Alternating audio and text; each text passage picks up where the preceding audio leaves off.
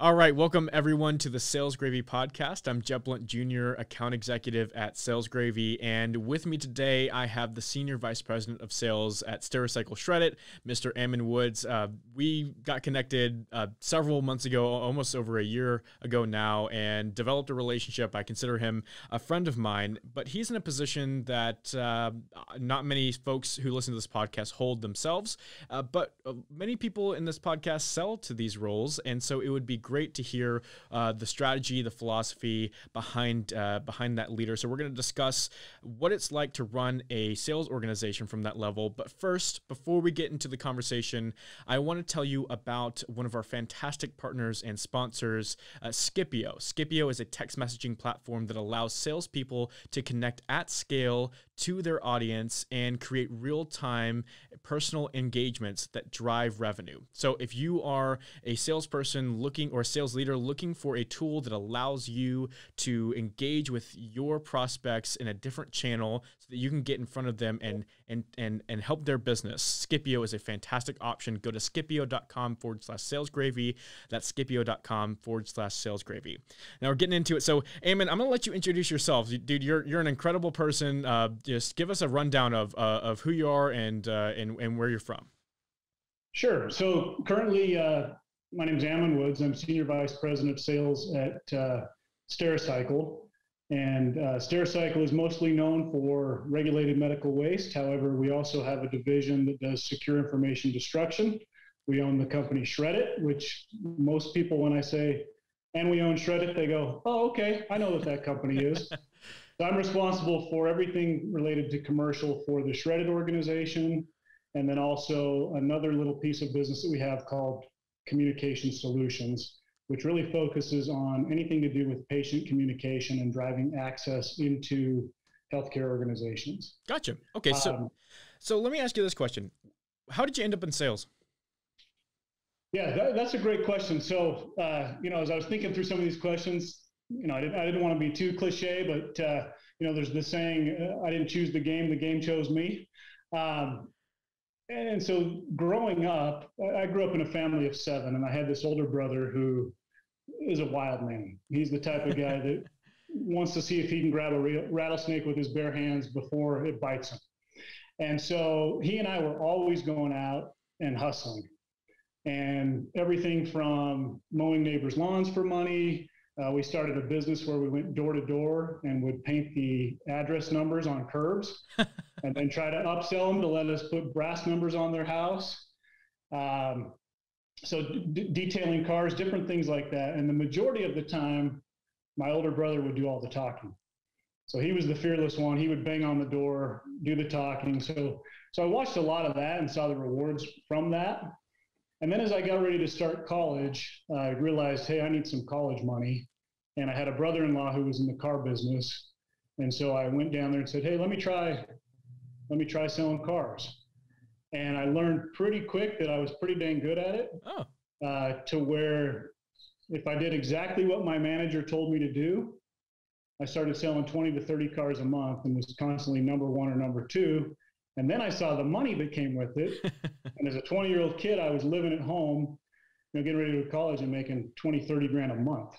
And so I was instantly hooked and I realized sales is a career where you really control how much you want to make based on how much you're willing to invest yourself.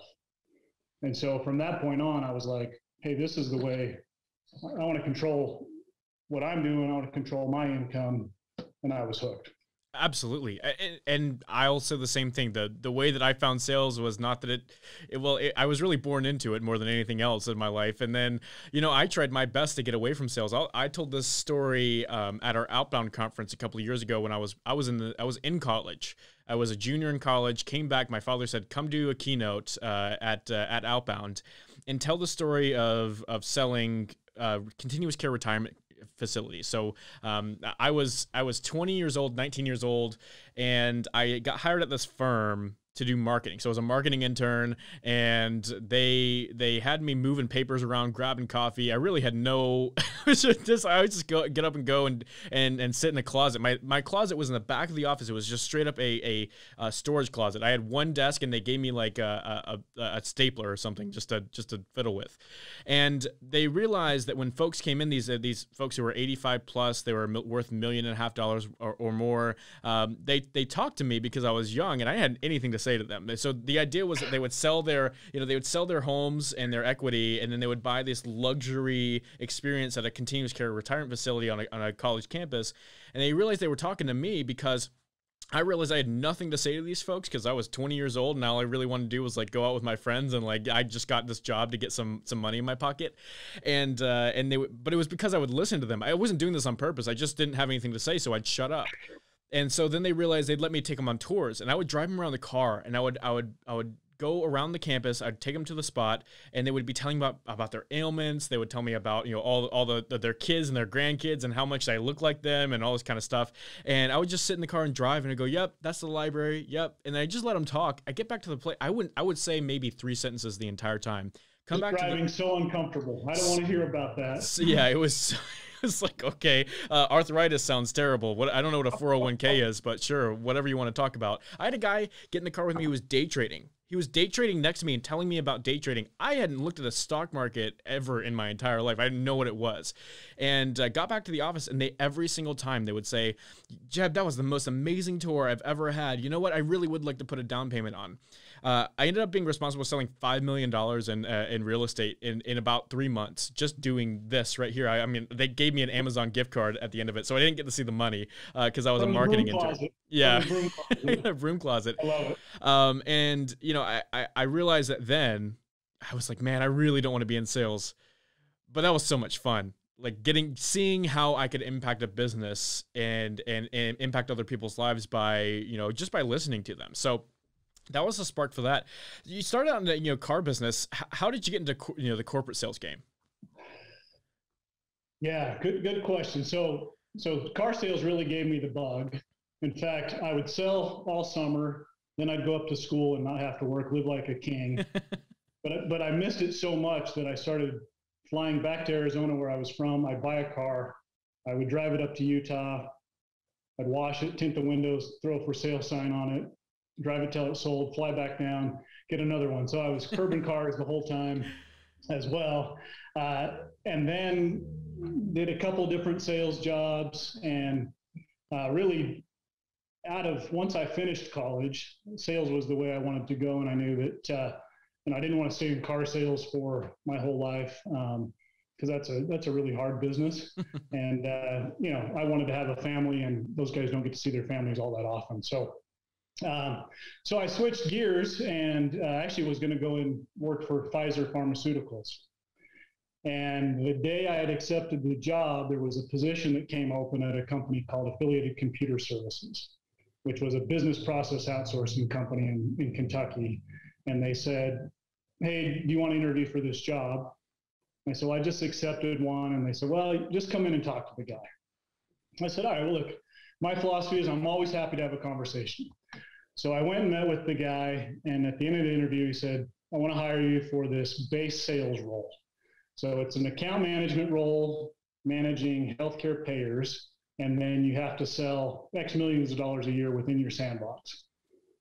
And once you're up to speed, you can live wherever you want. And so I started weighing it, and I said, okay, Pfizer, if I want to be promoted at some point, I'll have to go live somewhere cold that nobody wants to live, because that's the territory that'll be open. Or I could take this job and live wherever I want once I'm up to speed. So I called Pfizer back and accepted the job, or told them thanks but no thanks, which was not fun. And then I took this other position. So uh, I really came up through ACS. I spent about 10 years there in different parts of the business. I stayed in that role for about three years and really learned healthcare. And then, kind of my philosophy as a sales guy was if there's other parts I can learn or other parts of healthcare specifically that I can learn, I'll be the first to raise my hand. So I moved to a couple different areas within within ACS over the years. I did a hunter role. I ran sales ops. I got into our finance and accounting outsourcing as a hunter. So a bunch of different things that just helped me be a little more well-rounded. So that's sort of, you know, I, I knew I didn't want to be in car sales forever, and that was sort of the next the next opportunity presented itself. Gotcha. Okay, so I think the lesson to learn there is is uh, as a salesperson, your job is to be a trusted advisor 100% of the time, which is a really difficult task because we one have to understand somebody's business and tell them that we understand their business without telling them that we understand. Because I think the kryptonite of sales is telling people that we understand when we really don't. Like, there's no way that I could step into your shoes for real and say, you know, I, you know, I understand as the SVP of a large organization. That's just not my role but I can show you how I have learned what challenges you may face. And then if those resonate with you, we can have a deeper conversation. So learning, think, uh, go ahead. Yeah, I think, I think you nailed it. And, and, and here's, here's an example of that. So good salespeople, you're spot on. They listen, which is what you did and why the senior citizens loved you. And then it's identifying what's the problem what's the problem statement, and then coming back and saying, okay, based on what I have in my toolkit, how do I solve that? And how do I present that to you? And so one of, one of the things that really helped me over my career is I didn't start out selling a physical product, right? I didn't say, I did with cars, right? Here's the car, here's right. this, it's this. And, you know, I had some tips and tricks for car sales that probably weren't even fair. Uh, that's a whole nother topic. But as I got into business process outsourcing, it was solutions. It was technology and solution. There was no one size fits all. It was always a customized solution based on what I could find out their actual problem was. And so I think learning to think that way as a salesperson versus going in with a preconceived notion of I'm going to sell them this pen and I only know it does this, these things really well. I think flipping it on its head and starting with the customer first and, and working backwards is is really key to being a good salesperson. I agree. I, I was I was having a conversation with a prospect earlier today, and I was having this exact conversation where the sales people have this crutch. And it's and it's across the board. It's not it's, it's human. It's, it's not that there's anybody out there who's doing it on purpose but we have this idea that we have to know the product or the service nuts to bolts everything about it before we can sell it because it makes us feel more confident but I think what that does as a, as a trusted advisor is it puts us in a position where you do you do the thing where you have the pen and it does a, a, couple of things like it writes your name really well and it clicks, right? So then we try and find with our, our clients, our prospects, we say, okay, how can I uncover the problems that match the pen?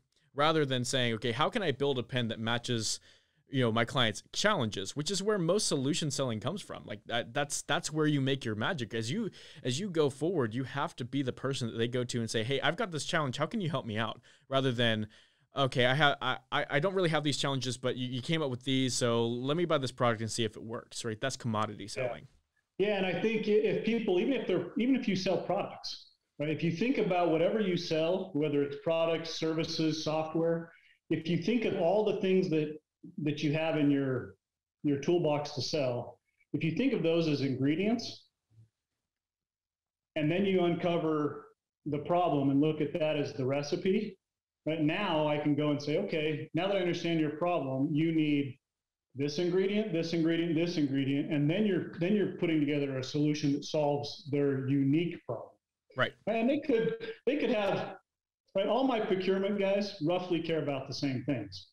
However, I can tweak the recipe a little bit the base recipe and, and, get them to where they feel like it's a customized solution. Exactly. It's all it's all in the little details and the margins, right? So as a salesperson, if you're in the game long enough, I can pretty much go to anybody in a sales leadership role and and and can and can tell you that they're probably facing these number of challenges. But the thing is everyone believes they're unique and, and I believe I'm unique as well. That's that's how we that's how we feel and and the way we talk about our challenges are unique. And as a salesperson, you have to flex to that to that conversation and then from there you can build solutions. So yeah, you, you you went through the, the, the, career change and you went from B to C to B to B. You you sold a bunch of cars and then you sold a bunch of healthcare and then you went and learned the business.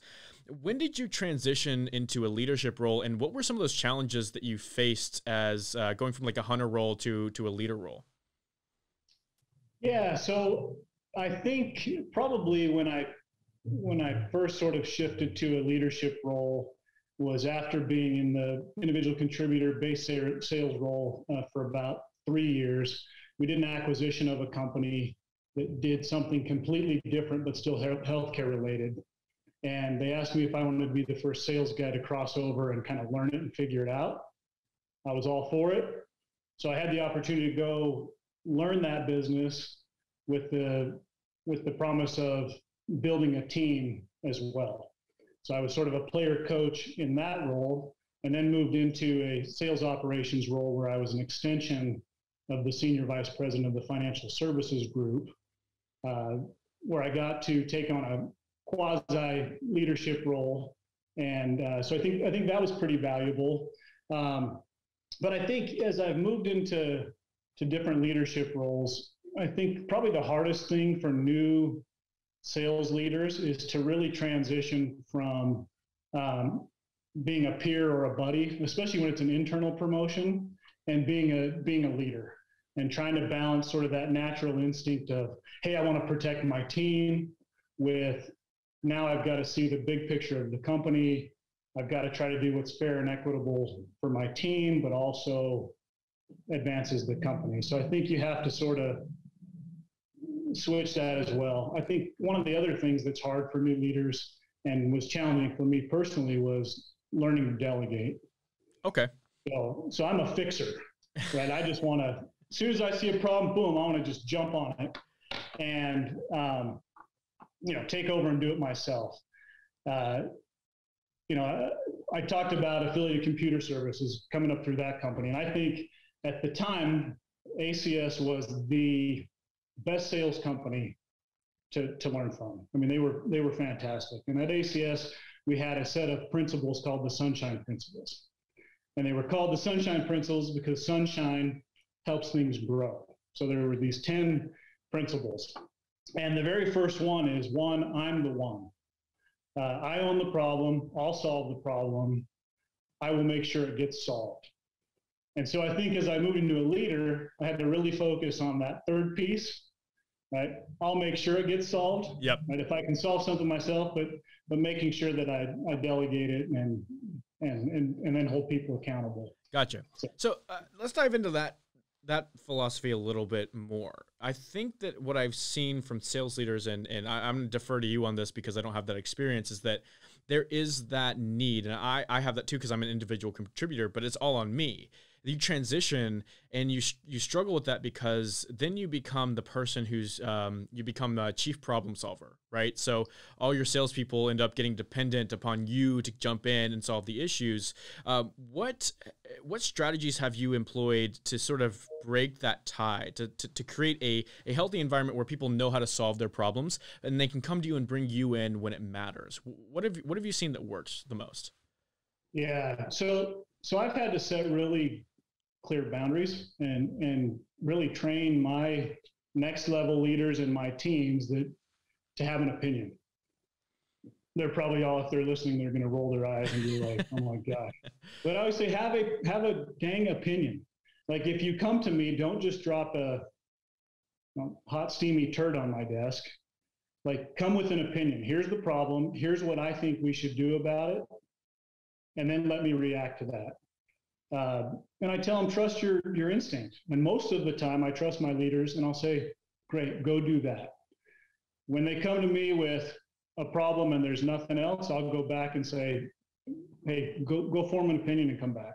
Yep. So I've, I've had to really work pretty hard at that. Uh, but I've gotten to the point where now they know if they come to me with something, right, they better have at least an opinion about it. Oh yeah, I, I had this. Uh, I had to learn this lesson really hard. Uh, I was an intern at this really large sales organization, and I was doing basically SDR work, where I was picking up the phone a hundred times a day, setting appointments with people that I had no idea what I was talking about. I was talking to chief financial officers about uh, employee benefits and HR solutions, and I had no idea what I was talking about. One guy, he picked up the phone. It was my first week. I called him and I said, um, you know, hey Ammon, it's Jeb Blount Jr. at XYZ Company. I, am calling to set an appointment with you because I help businesses uh, lower their or increase their EBITDA and lower their employee benefits costs. And he said, Jeb, how are you going to do that? And I went, uh, I don't know.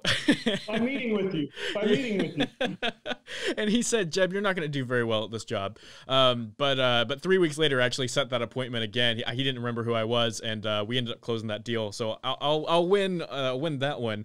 But I had this I had this situation where I set an appointment with somebody, and then I double booked my my account executive, and I was really I had I had really high anxiety about this, and I went straight to the sales manager and uh, my you know my account executive was saying something like I can't do both, figure it out. She's just like being really rough on me. Went to the sales manager and just said, "Hey, I've got this problem." And my sales manager looked at me and said, "What are you going to do about it?" And I just stuck. I had no idea. I hadn't even thought that far. I just knew I had a problem. Went to the sales manager and just get, threw it on their desk, threw that hot, steamy turd right on their desk. And, and she looked at me and said, What are you going to do about it? Um, and I learned this lesson. I learned to articulate this lesson in another way because um, actually Jeffrey Gitomer told me this: uh, is that never go to a boss with a problem and no solution. Right? Think about that opinion. Go to them with with what you think the best route is, and then let, like you said, let them react to that, and that's the best way to, uh, you know, to, to, lead your conversation. And as a sales leader, I guess you have to set that boundary. So, what uh, what what were some of the things you have to tell your leaders in terms of setting boundaries to to keep that conversation uh, there rather than just becoming a problem solver? Yeah. So let, let me make one comment, then I'll, I'll get to that because it just gave me a thought. I mean, it, that's the same thing that our customers want as well. Yep. They want us to have an opinion, right? yep. especially for those who are in sort of account management, you know, land and expand roles. When you have an opportunity to show up for a QBR, they don't want you to just read the news to them. They want you to have an opinion and share with them, act like the expert. Right. And so I think it's the same things we want is we want people to have an opinion, but our customers want that as well from us as salespeople. So, um, you know, I, I think that as far as, you know, strategies that I've employed, it's, it's constant. It's, it's modeling. So when I go to them, right, with something, I'll typically make sure that I have an opinion. When they see me go to my boss, they don't see me just, you know, I got a problem. Good luck. right? They've learned that if they send me an email that says see below, it's coming right back to them. I don't do see below. I don't have time to try to scroll through nine emails and figure out what do you want. And so uh, I've even gone as far as my my EAD, who you know, uh, got them all on a call the other day and said, okay, when you send something to Ammon, it's bullet points. Put in the subject what you want. Do you need his approval? Do you need right? Let's let's speed this up. Otherwise, it's going to get buried or lost. So it's really been a combination of modeling the behavior.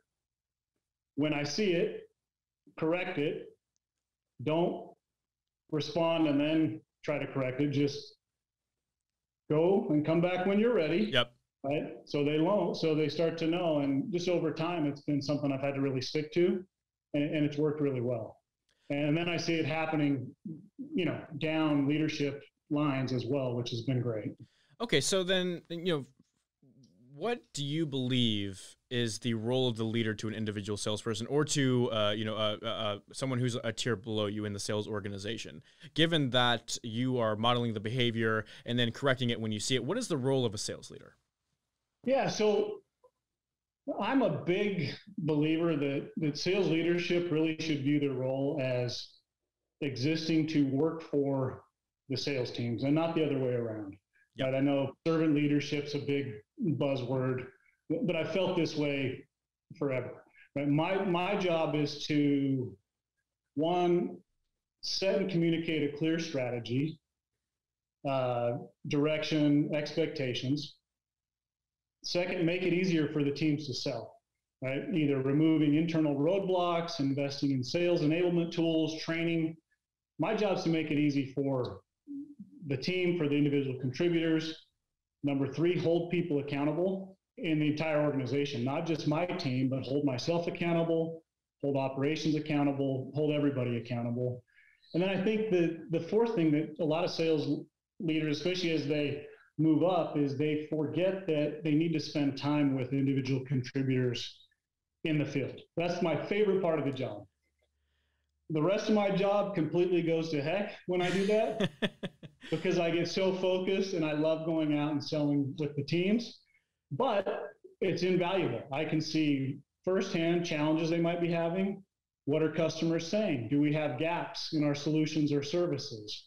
Uh, are there things that we need some refresher training on across the board? Are there best practices that one team is doing that we should all be doing?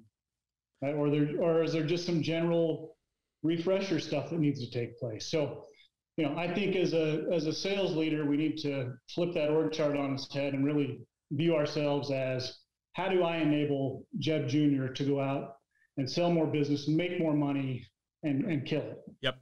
Yep, I, I think that that is exactly what anyone who has uh, sales leadership or a good sales leadership experience would say is that your job is to enable everyone else to be successful, right? And the more successful they are, the more successful you will be in return. And so I like the what we talked about. So there's that management piece, like removing the roadblocks, you know, you know enabling them to to do their jobs, put, putting in tools that that gives them the best, uh, you know, the, the best probability to win. And then of course you know helping them with uh, with messaging and just tactics and, and making sure that they're running the process correctly that's that management piece. Then the leadership piece of that modeling and then and then correcting behavior as you see it. So it drives everyone in the same marching order getting to the same goal. But there's that third piece that people miss with with leadership. And and I see this as as more folks go up. You see less interaction with people like me who are in, you know who are who are actually engaging with with your clients and prospects is that your job as a coach is to is to help me understand my behaviors create awareness you know drive conversations that matter create trusted advisor status. You know those are things that you have experience with that maybe i don't because i'm 24 years old and dude i don't know anything. Like i am i am stupid as far as it goes but you have that knowledge and i can you know i can learn from you and model after that. And if you're spending time with me i see that firsthand and then i then i connect with you as a leader. And the idea there is and I, you articulated this is that you need me as a sales leader more than I need you. And that's just you know the philosophy that leadership should should take on, just from my own opinion. Uh, so then you know what uh, then is your given those given those that roadmap that you gave us of those rules to to engagement what kind of philosophy do you follow? Is it the sunshine? Is the shun, sunshine laws? You know the the, um, yeah. the the philosophy there. Like articulate that a little bit for us. Yeah, so I, I think those are definitely, and I can, I'll share those with you at some point because there's there's ten of them, but um, they're they're pretty basic principles. But I think, you know, as as leaders, and I'll I'll just make one more point. It's hard as a as a leader, the higher you go and the bigger your organization goes, to get out with each individual right. and spend time. So sometimes you'll have people feel a little bit neglected. Why didn't he come out with me or that type of thing? But good leaders, as long as they're getting out and, and experiencing it, they're, they're doing the right thing. Uh, I've got a sales org of over 500 people. So, I mean, I could, there's no way I can get a ride along right. with everyone. I, I try to uh, get out as much, you know, as much as I can, but, but I think as long as they are getting a good pulse on the different areas, they're okay. Um, from a from a from a sales leadership philosophy standpoint, you know, there's a couple sort of key principles that I, I focus on.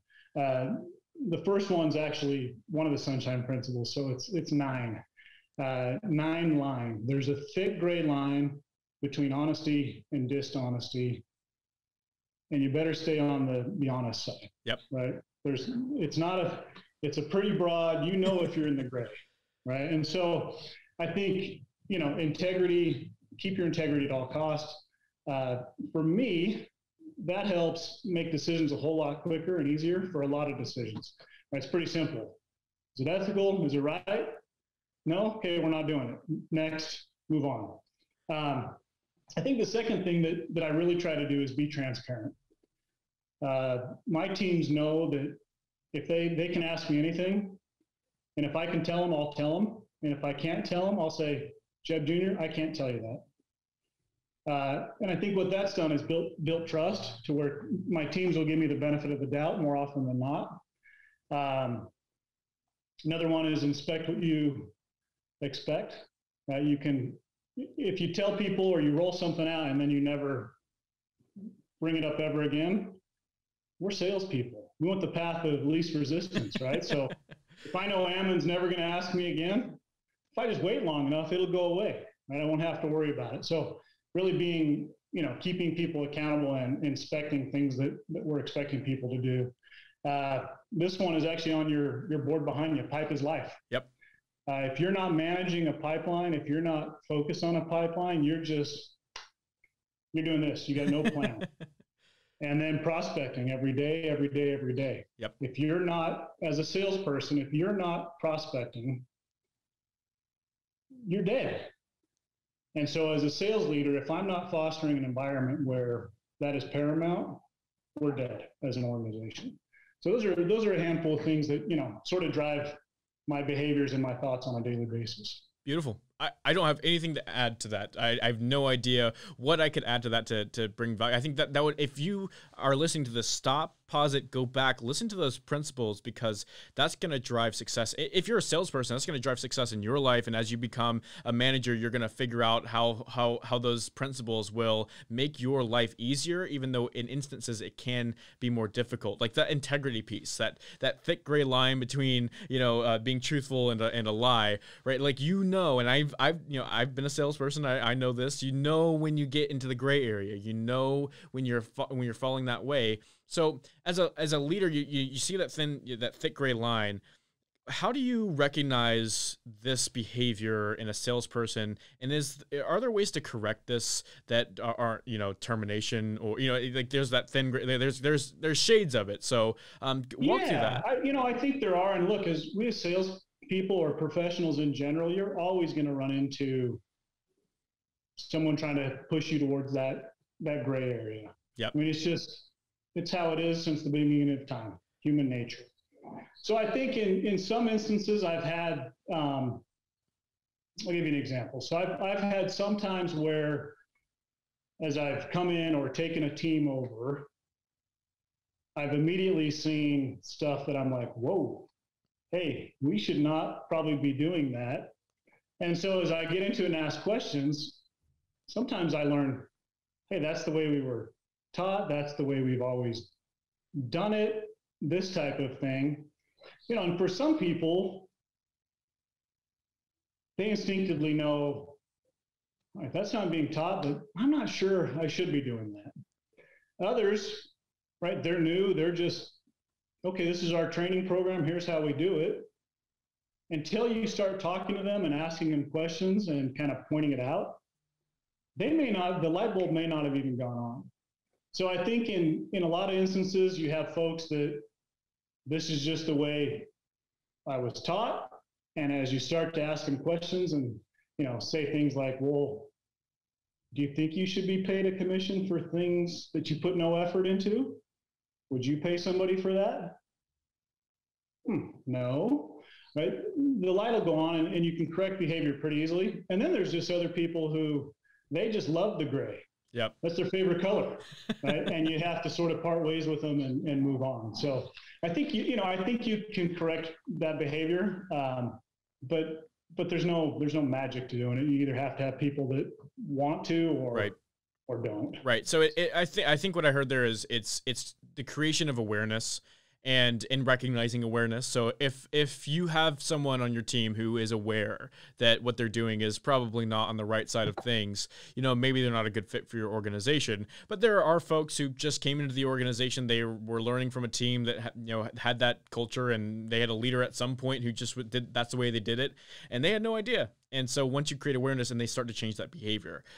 Yep. What are some gaps that you see in leadership you know from from your perspective even even at your level um, what are some areas that that, that are lacking uh, across the board yeah so great question. You know, a couple things I see, and I see it across lots of different organizations that I've been, is as you have people being moved into sales leadership roles, uh, oftentimes they're moving them into roles because they were a really good individual contributor.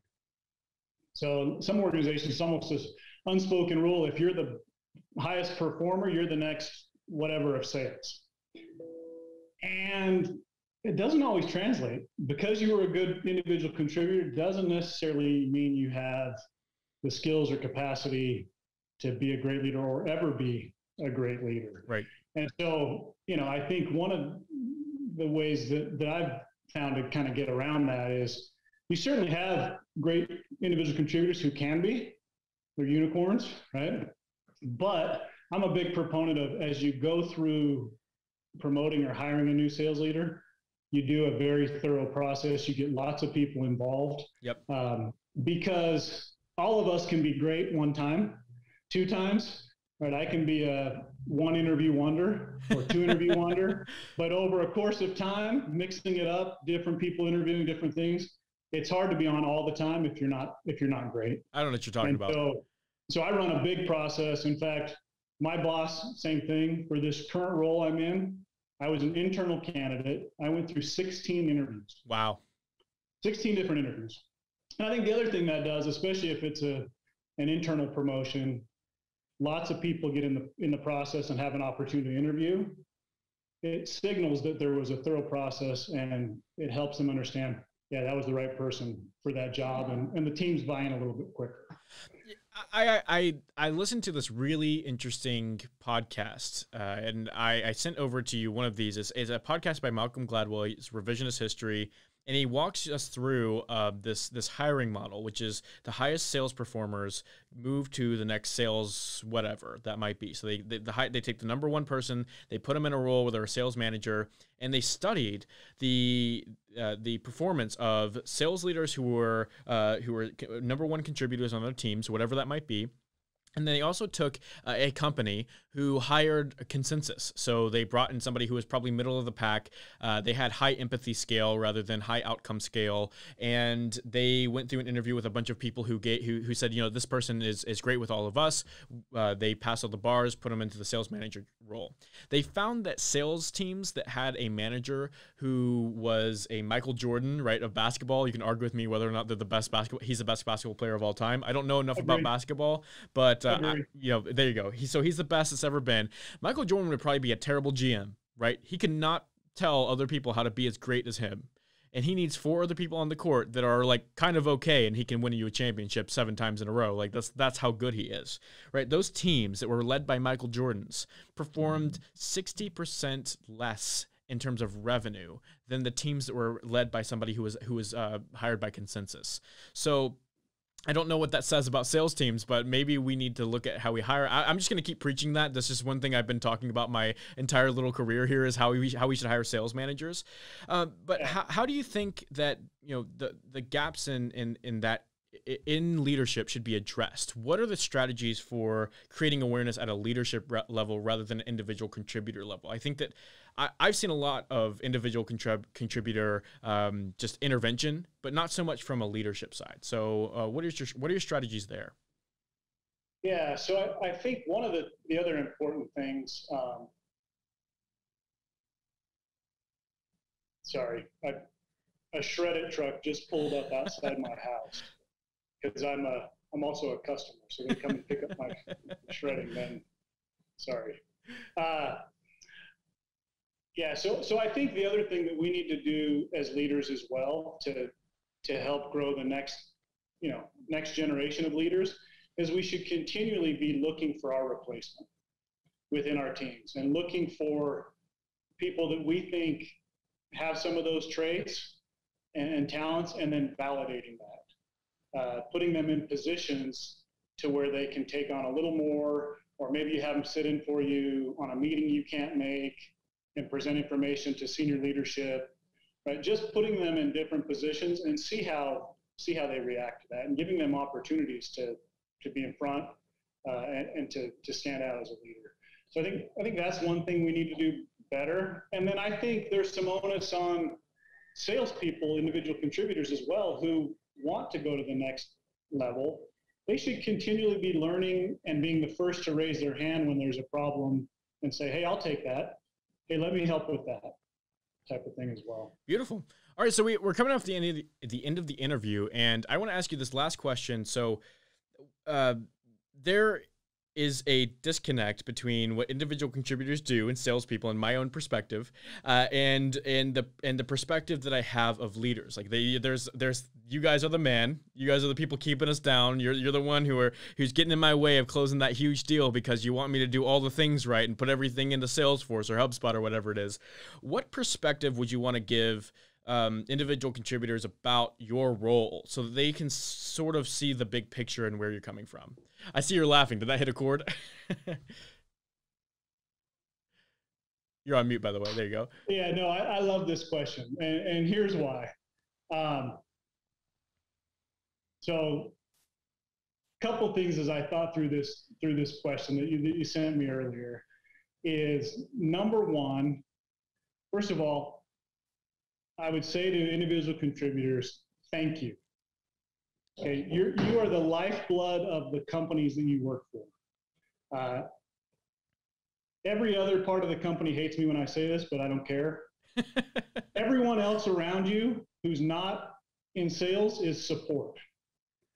If all the salesmen in the world went away, growth, nothing would grow and there wouldn't be jobs and, and other things. That's a whole nother debate that I'm sure someone from operations is going to come after me for, right? But, but so thank you. Uh, the second thing is sales leaders, the good ones, we understand that it is not easy. It's a daily grind. It's hard to do it day in and day out, always be on. It's not for the weak hearted. Number three, cut your sales leaders a little slack. Okay, the good ones, they're working their guts out for you. They're trying to knock down roadblocks for you and your peers. When they make decisions, they really have to balance a lot of different things. Right? They have to do what's best for the sales individuals. They have to do what's best for the customer. They have to weigh what's best for the company, the shareholders.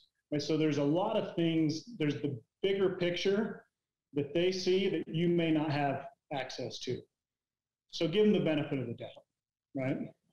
And then lastly, I think, you know, my wife, my wife told me this is going to be a buzzkill, but it's lonely at the top. I had a great sales leader tell me that. Ammon, it's lonely at the top. And what he means by that is, is the higher you move up in your career in a leadership position, the less people you have to commiserate with. And the more weight you have on your shoulders to deliver results. And so at some point, you get to, to where the buck stops with you and there's no one else. And so, you know, you just have to, if, that's what you want to do, if you love helping and serving and making great salespeople greater, and you have to realize that at some point, you know, you, you're going to have more pressure and and you're going to have less people to complain to. So.